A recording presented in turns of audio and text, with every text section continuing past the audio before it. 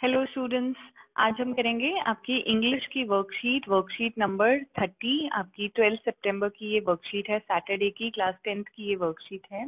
तो आज हम ये करने वाले हैं।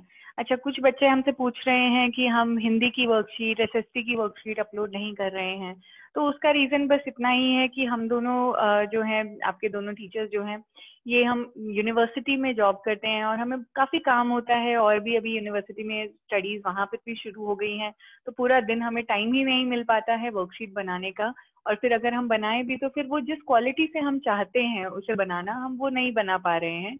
तो इसीलिए फिर हमने सोचा कि जो हम वर्कशीट बहुत अच्छी क्वालिटी के साथ अभी इमीडिएटली कम समय में हम बना पाएँगे, हम फिर वही बनाएँगे। तो इसी वजह से हम अभी आपके लिए मैथ साइंस और इंग्लिश की वर्कशीट अभी के लिए बना रहे हैं। कोशिश करेंगे कि अगर हिंदी और एसएसटी की जब भी हम बना पाए, तब हम वो भी बना दें। तो हम उसकी कोशिश जारी रहेगी। अभी उम्मीद है कि आप हमें इसी तरह से सपोर्ट करते रहेंगे। जो यहाँ कंटेंट है उसे आप समझते रहेंगे और साथ ही इस चैनल को लाइक और सब्सक्राइब करेंगे और अपने फ्रेंड्स के साथ भी इसे शेयर करेंगे। तो आपकी ये जो वर्कशीट है, ये वर्कशीट आप जल्दी से देख लेते हैं। ये वर्कशीट है आपकी टीचर्स डे के ऊपर, आपके जो टीचर्स हैं, उन्हें, उनके साथ आपने कैसे समय बिताया है, उनका, उनको आप कैसा समझते हैं, कैसा मानते हैं, उसके बारे में ये वर्कशीट है। तो लास्ट वीक सितंबर फाइव को टीचर्स डे था। आप सबने भी हमें विश किया, हमने भी आपको विश किया और थैंक यू किया, उसके लिए बहुत बहुत धन्यवाद आपका। तो उसी के कंटिन्यूएशन में ये वर्कशीट है कि सितंबर फाइव को टीचर्स डे था। लेकिन इस साल हम उसे वैसे सेलिब्रेट नहीं कर पाए जैसे आप यूजुअली करते। शायद आप अपने टीचर्स से मिलते, उन्हें फ्लावर्स देते या उनके लिए कार्ड बनाते। तो आप वो सब नहीं कर पाए, लेकिन ज़रूर हमें उम्मीद है कि आपने ऑनलाइन इसे ज़रूर सेलिब्रेट किया होगा।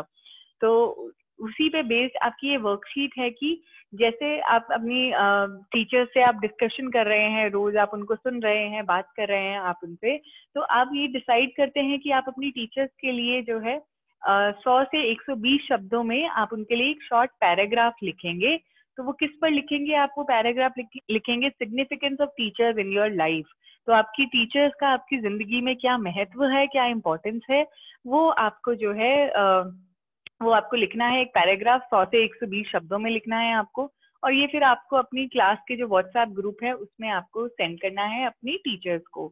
यहाँ पर आपको एग्ज़ाम्पल के लिए कुछ वर्ड्स भी दिए गए हैं। आप इन वर्ड्स को भी यूज़ कर सकते हैं, जैसे appreciate positive difference toil skill gratitude strength grateful encourage confidence help guide love kindness तो इस तरह के जो वर्ड्स हैं, आप इनको भी यूज़ कर सकते हैं और इन्हें यूज़ करते हुए आप यहाँ पर अपनी टीचर्स के लिए एक पैराग्राफ लिख सकते हैं।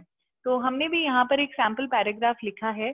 आप अपने टीचर्स के लिए आप इसको देखकर थोड़े आइडियाज़ लेकर यहाँ से आप अपनी टीचर्स को एक पैराग्राफ लिख सकते हैं। तो हमने इसमें यही लिखा है कि टीचर्स जो हैं, आपकी ज़िंदगी में हमेशा ही एक इंपॉर्टेंट रोल प्ले करती थी इंपॉर्टेंट पार्ट प्ले करती थी।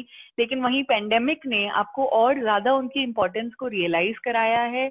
आप वो अप्रिशिएट कर पा रहे हैं कि टीचर्स आपकी ज़िंदगी में क्या पॉजिटिव बदलाव लाए हैं पॉजिटिव डिफरेंस लाए हैं, जिसकी वजह से और आप ये अप्रिशिएट कर पा रहे हैं कि पहले टीचर्स जो थी, आपके पास फ़िज़िकल प्रेजेंस ही इतना इम्पोर्टेंट हो जाता था कि आप उन्हें देख पाते थे, मिल पाते थे, बात कर पाते थे। अभी जब फिजिकली वो प्रेजेंट नहीं है तो आप उन्हें और ज़्यादा मिस कर रहे हैं। तो आप ये रियलाइज़ कर पा रहे हैं कि आपकी टीचर्स जो हैं, हमेशा ये आपको एनकरेज करती थी कि आप कॉन्फिडेंट बने और आपकी लाइफ में जितने भी आपको प्रॉब्लम्स हो, उसमें हमेशा आपको गाइड करती थी।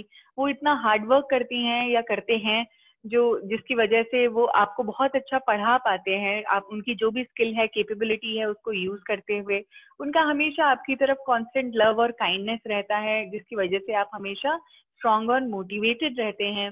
साथ ही इसी के साथ आप अपने टीचर्स के लिए बहुत ज़्यादा ग्रेटफुल भी हैं थैंकफुल भी हैं। क्यों? क्योंकि वो जो आपके लिए एफर्ट करती हैं, या करते हैं, जो आपकी केयर करते हैं तो उसके उसी से आप एक काइंड और रिस्पेक्टफुल पर्सन बन पाते हैं। तो हम भी देखते हैं, कुछ बच्चे जो है कमेंट कर रहे होते हैं, बहुत अच्छे से हमारे बारे में चिंता भी कर रहे होते हैं कि हमारी तबीयत ठीक है कि नहीं है, अगर वर्कशीट लेट आ रही है तो कि क्यों आ रही है तो वो हमारे साथ एम्पथाइज कर पाते हैं, समझ पाते हैं, हमें थैंक यू भी बोलते हैं, हमारे प्रॉब्लम्स को भी समझ पाते हैं वो। तो वो सुनकर अच्छा लगता है अच्छा लगता है कि हम जो एफर्ट कर रहे हैं, बच्चे उसका भी अक्नॉलेजमेंट कर रहे हैं थैंकफुल फील कर रहे हैं।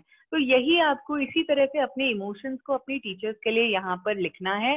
साथ ही हम अपनी तरफ़ से ये आपको एक मैसेज देना चाहते हैं, मैं आपको अपनी तरफ़ से एक मैसेज देना चाहती हूँ इस वर्कशीट के थ्रू कि टीचर्स को भी आप इंसान समझिए, वो भी अपनी लाइफ में बहुत सारी चीज़ों में उलझे हुए हैं, बहुत सारी चीज़ें कर रहे हैं। हो सकता है कभी इंटरनेट इशू है, हो सकता है घर पे कोई बीमार है, हो सकता है वो खुद उनकी तबीयत ठीक नहीं है, या हो सकता है कि कोई और दस जिम्मेदारियाँ होती हैं, उनके पास खाना बनाना है, सफाइयाँ करनी है, कितने सब काम होते हैं। इनके बावजूद भी वो हमेशा आपके लिए तत्पर रहते हैं, हमेशा आपके लिए हेल्प करते हैं। तो ये ज़रूर आपका ये फ़र्ज़ बनता है कि आप उनके लिए, उनकी जितनी भी सिचुएशन है, उनकी प्रॉब्लम्स है, उन्हें समझें और जिस तरह से वो आपको हर मोमेंट पे, हर क्षण में आपको सपोर्ट करते हैं, आपको गाइड करते हैं, उसी तरह से आप भी उनका सपोर्ट करें। मेरी तरफ़ से आपके लिए तो आज यही मैसेज है। उम्मीद करती हूँ इस वर्कशीट में जो भी आपकी इमोशंस है फीलिंग्स है टीचर्स के लिए, आप उन्हें लिख पाएँगे अच्छे से और आप अपनी टीचर्स से उनको शेयर कर पाएँगे। तो इस सैंपल आंसर से आप और आइडियाज़ लेकर भी आप अच्छे से अपना पैराग्राफ ज़रूर लिखिए और अपने टीचर्स के साथ शेयर कीजिए और उनकी जो इम्पोर्टेंस है आपकी लाइफ में, उसे समझिए। आज के लिए इतना ही है। Thank you